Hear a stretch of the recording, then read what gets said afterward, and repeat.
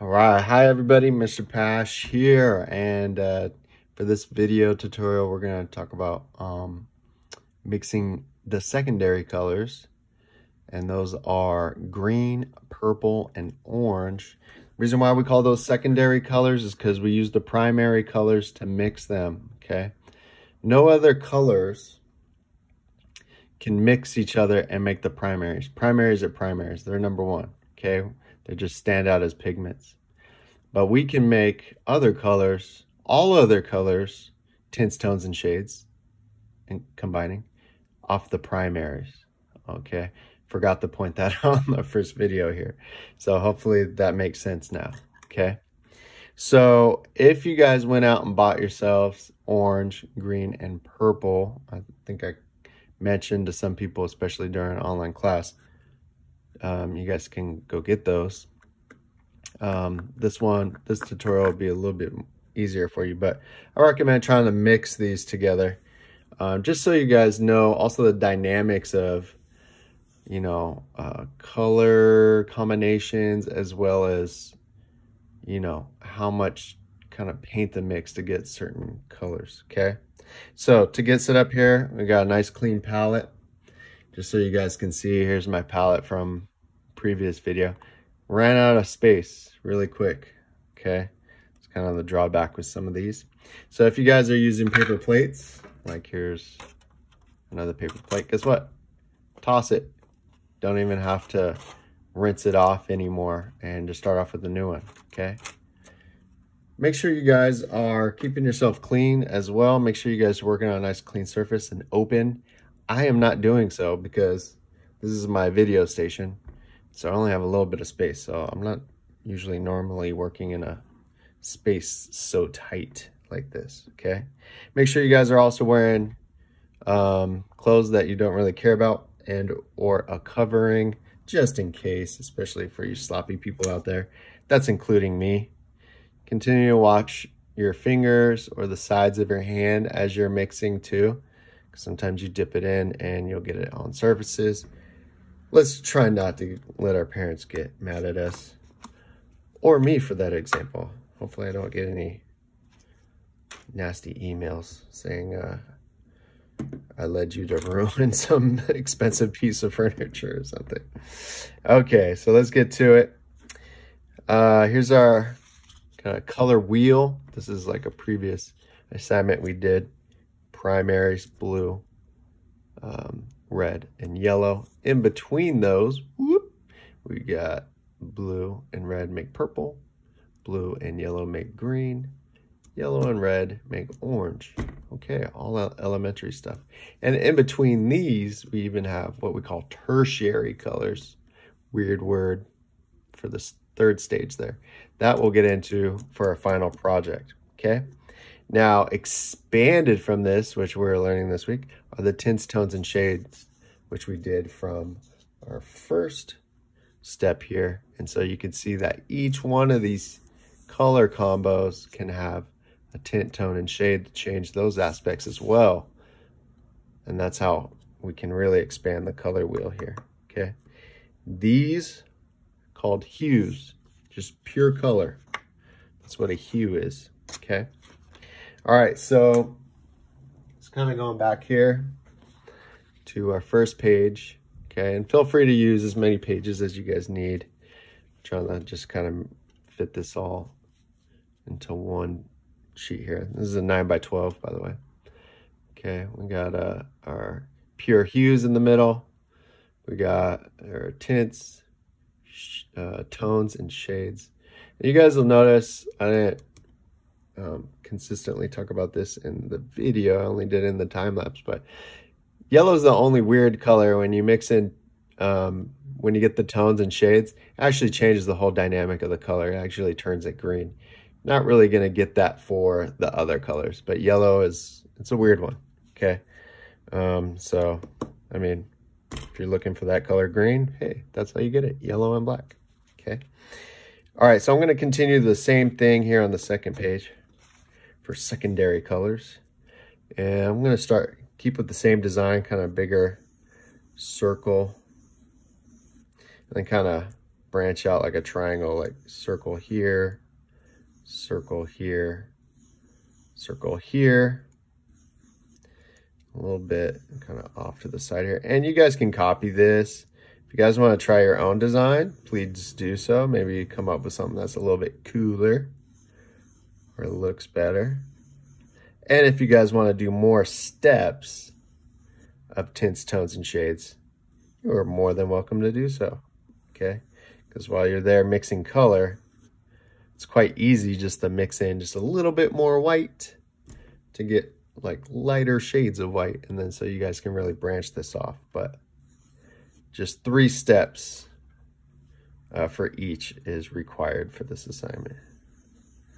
Okay, and I'm not going to go over all of them. I'm just going to show you guys how to mix colors, and then I'll do an example with, this is where I'd ask my class if you guys were here with me, what color should we do? I'm just, my mind went straight to green. I don't know why, but that's what we're doing here. Green. And feel free, I'm kind of going a little bit small here. Give yourself some space to work with. Now I'm going too big. Okay. I'm just kind of sketching these out. Getting ready to plot in some color. Of course, you can always fix these, go a little bit bigger, smaller with the paint. This is just kind of a rough sketch here. Okay. Green, orange, purple. Let's mix some color.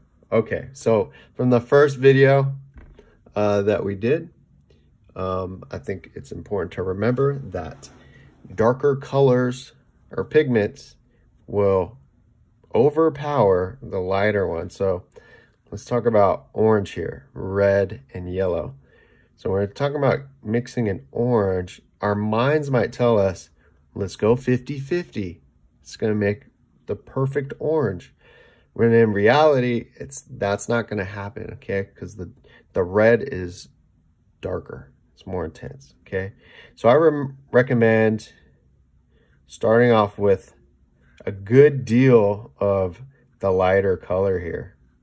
Okay. And this is going to be the same thing when you guys are mixing green. Okay. With the blue, the blue is a lot darker um, than the red. Okay. Naturally. Now we're not talking dark like it's black or just, I'll just say more intense. Okay. Now, if we are mixing to get to orange and then to do the tints, tones, and shades, give yourself a good amount because you want to start off, you want to probably have this much. Uh, probably a little bit, probably less is good, but okay. So this is a good amount of yellow. All right, by the way, water, okay, keep your water clean too as you guys go. Uh, mine, you see the yellowish tint, it's already getting there. Luckily, I'm using yellow and red, so it's not going to matter too much, but keep that in mind. You guys need the refresher water at points because uh, if you have colored water, guess what? It's going to change the color dynamics of your color mixing. Okay? And, um, all right, so, sorry. So I'm going to add, just like what we did with the black and white, it's like a dot of red and see where it takes us, okay? And, um, you know, not all colors are the same. Not taking us too far. Okay. Just a little bit. Okay, I'm going to get some of this paint off. I'm going to kind of muddy up this paint just a little bit. Just right on the edge here. I don't want to change the red because I need it for other stuff. Okay, let's add another kind of bigger dot here. See where we, where we get. I feel like I'm mixing uh, ketchup and mustard. okay. Getting there. Okay. We get, there we go. Just two drops of red into all that yellow. It's kind of a lighter orange. Let's go one more dot here. Okay. So if you go too far, okay, what happens if you go too far? Like you're like, uh oh I just got to like red, orange, okay? A lot of you guys are going to go. Abort, abort, you know, mix more yellow in there, you know, and when you mix white into the, the light into the darker color, it takes a lot more, okay? So it's almost better just to kind of start over, okay? Because you're going to end up using a lot of paint. Is that a good orange? Mm, I would say so, okay? Hey, guess what? We're doing orange. And actually I lied. One of the, the second colors that look weird with tones and shades is orange. But this will be fun because we're going to actually learn how to make a brown. Okay. I'm just going to tell you guys right now, because I haven't realized already, the best way to make a brown is black and orange. And some of you guys might have learned like, okay, you, we mix colors on the opposite sides of each other, like yellow and purple, you're going to get like a brown. You're just going to get like a muddy color. You're not going to get like a true brown. Okay. I'm using a lot of paint here because some of you guys might have noticed like yellow, and I notice this especially with the cheaper paints, but not necessarily so any paints. Yellow is very naturally translucent, so it actually takes a lot of paint to um, cover. And you guys will notice too is like the more you stroke, it's like you're not covering it, it's still showing up translucent. Um, you know, that's just because you're it's wet and you're just kind of brushing it away. you're not actually covering it. So to really make it solid, you actually need to let it dry and do a couple coats when your, when your colors are translucent. Okay, we got our orange. Okay, looks pretty good. And uh, let's do our tints, tones, and shades. Sorry for the weird accent there. I don't know why I did that but it just happened. Okay. It's a little bit of white, just definitely a little bit of black. Don't need a whole lot of black for this. Okay. And be careful when you have these and you squeeze down on it, watch out because it splatters paint. It's just, I'm a messy artist. It's really bad. I got problems. Um, let's see. Okay, so let's do tints. Okay, so let's bring in some orange just kind of right in the middle here. Okay, let's do a little bit. See how far we get. Again, continue to like kind of clean out your brush just so it doesn't get too gloppy. And uh, let's start off with a good deal of white here. Okay. Again, clean out your brush. Don't get too gloppy. I'm using my towel. I'm kind of spinning the brush. Make sure you don't want to be too wet because you don't want it too soupy. And uh, let's bring in just, okay, so now we got the orange, which is going to overpower the white. So we just need kind of dab orange. Let's see where we get. Nice light orange, okay? And just think with these lighter tones, like, if it's not white, it's going to be a light orange, okay? And if you can kind of tell there's some orange in there, you're good to go. All right, so let's kind of start there. And again too. Usually when these dry, the acrylics, I guess it depends on the paints, but usually when they dry, they come out a little bit darker than they do. Okay. Now I'm going to take a little bit more orange. Let's mix that in for step up.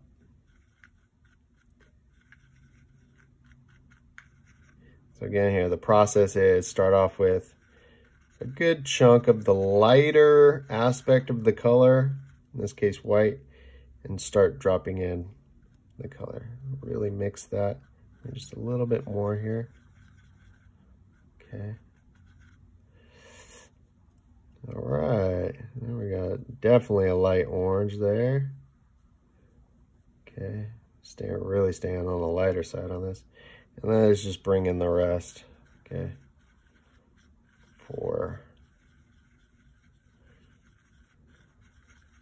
this creamy orange. We'll add that there. Okay. Notice how I'm getting a lot quicker with brushing and kind of get into the flow here. Usually it's good if you got nice glob, good glob of paint in your brush. Just covers really quickly and makes some nice clean edges. All right, there's our tints. Let's get to the tones. All right, so tones are weird. It's a different, definitely different aspect here. So let's see if I can make this process just a little bit different from you guys. Oops. Okay. So um, I don't want to mix too much, but just a dot, like the smallest of dots of black. Okay. See how much that changed right away? I can't tell you guys enough. Be careful with the black. Okay. And that looks good. And should we just do the other values here? Let's go for it. Let's just go one more dot of black there. Okay, we just got to be careful. We want enough paint to mix. And let's do another dot of black here. Can I get maybe one more? Ooh, too dark. No, that's okay. Really dark gray. Okay, so there's our three values. Now, I really don't like to um, mix the color into the values because that's going to stay really gray. So I like to, let's kind of pull some orange, uh, maybe off to the side here. I'm running out of room. Okay. And instead, I think for the lighter one, it'd be okay. So let's do that. Just kind of right off to the side. Okay. And just like slowly mix them in. Let's see where you get. Okay. Pull a little bit more in there. Okay. Make sure you mix, spin that brush, mix it around pretty well. So there's a light gray, our tone. Make sure we got enough here, hopefully. Okay, so we still want to keep that orange color aspect, right? We don't want that to go bye-bye. All right, starting to look like 70s colors. All right, and then we'll take some orange, like put it right over here and just mix in just a little bit. Remember, we're going darker, so we need a lot less. Just kind of more orange, kind of. We're not painting a whole lot, so we don't need a whole lot of paint. Kind of did that on purpose for you guys because make it easier. Okay, all right. Probably kind of a little grayer there, huh? I shouldn't do this, but okay. All right. And now, okay, this one. Now we need, we got that dark gray. We just need a lot less. So let's just kind of, just, uh, just a little bit here. Okay, well, not too much. Really mix it. Okay. Let's see where we get. If we need more orange, we got some here. Just kind of make sure you clean off your brush before you dip in there. You don't want to remix the orange.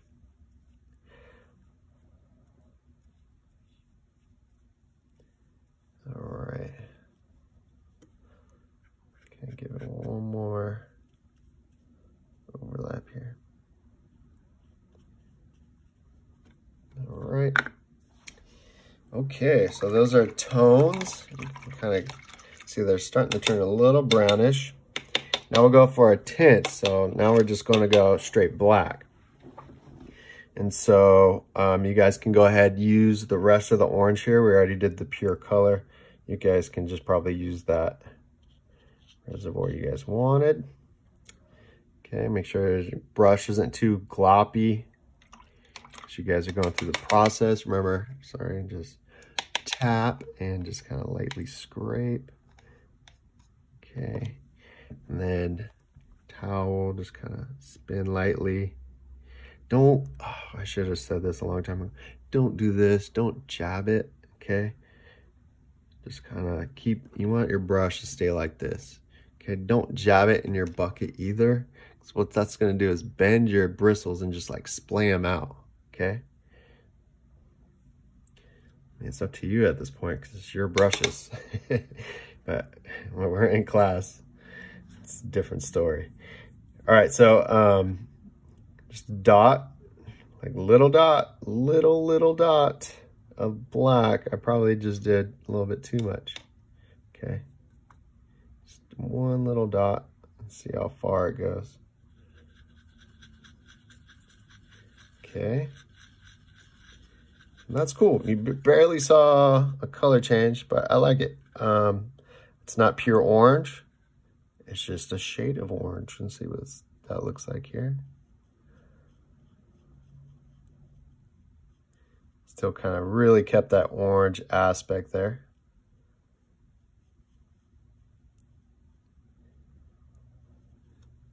Okay.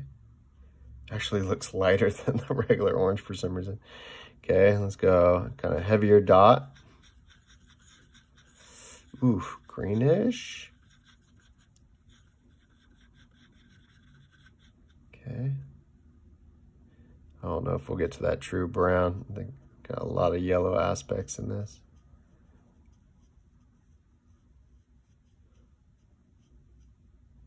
Okay. Looks a lot like that over there. Not sure why. Okay.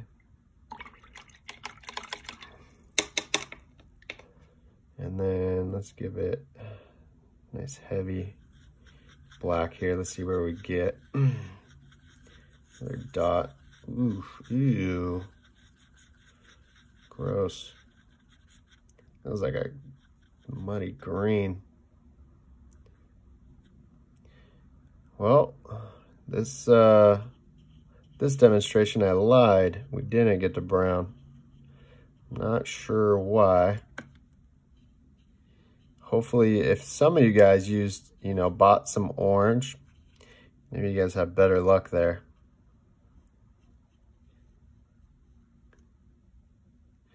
Okay. Kind of goes to show you, you know, you mix one orange or you buy an orange, like the color dynamics, the type of paint it is, it's always going to be a slightly different. So that's why a lot of time artists use, you know, they get used to one brand of paint, some uh, traditional colors, they experiment with it and they know what they like and how it's going to mix, you know. They're kind of scientists in that way. All right, so there is uh, the first part of the secondary colors. Turned out all right. We kind of got this like 70s kind of type scheme going on. Now what you guys want to do is mix the green and kind of do the same thing. And then you want to mix for purple and do the same thing. And let's just end this video by mixing those. Let's go purple.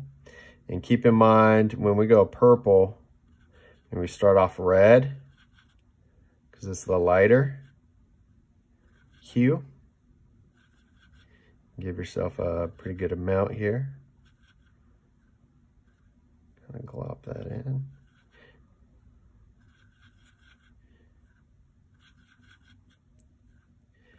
So we can get a nice decent purple. And then, you know what? I feel like I have some white in my brush. Maybe that's why that turned out green.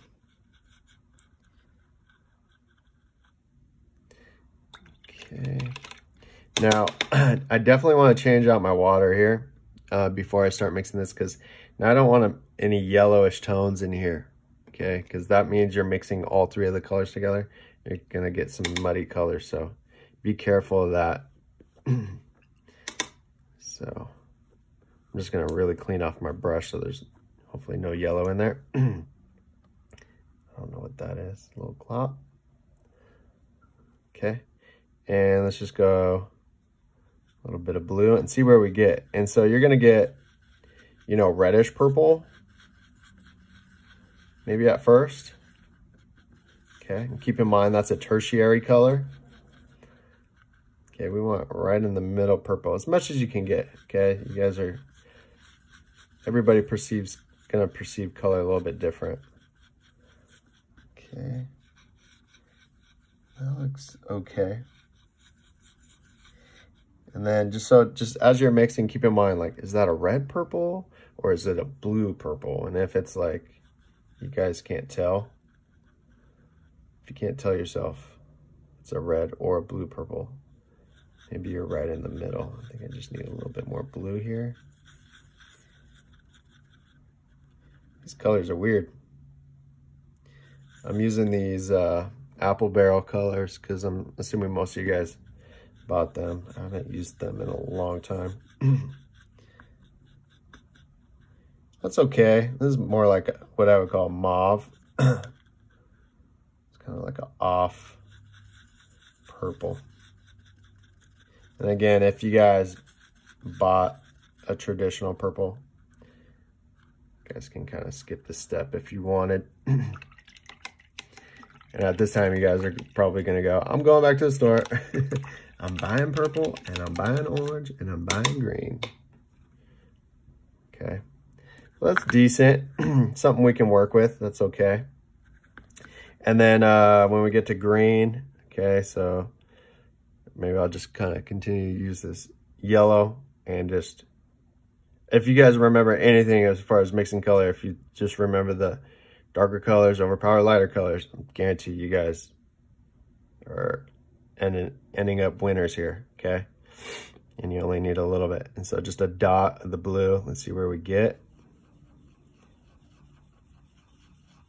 Okay, kind of a truer green there. That's working pretty well. You can tell that's more of a yellow green, tertiary color.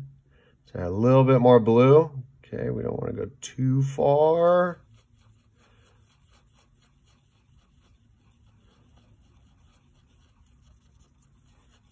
It's looking pretty good. I would say maybe just another, just a little dot. So, it's, all you know, when working mixing with the darker colors is better just to do a little bit at a time to get where you want rather than going too dark. You don't want to start mixing in those lighter colors to pull back. Ooh, too much, too much. Okay. Okay. Yeah, I got weird color dynamics here with these colors. Okay, but that's something we can work with here. I think that's more of a medium green, I think. Make sure you guys really mix this stuff. I'm not getting there. Let's go a little bit more. One more, and let's see where we get, and then just kind of call it a day. For this video, I'm sure we're running pretty long here. 30 minutes. Okay, pretty good. It's not bad. And then from there, just tints, tones, and shades. Make sure you guys have enough space. Maybe use another plate. You guys can also, if you guys want, if you guys have enough sketchbook paper, uh, you guys can maybe mix some colors on that sketchbook paper, especially only if you guys use the mixed media stuff, the harder, stiffer paper, so it holds up. But you guys can use that if you guys need more space. All right, and that's it. Once you guys finish the green and purple, we are done for this assignment. You'll submit both of those images to Canvas. And if you guys got everything there, you guys get max points. And we'll go to the next step. All right, take care, guys.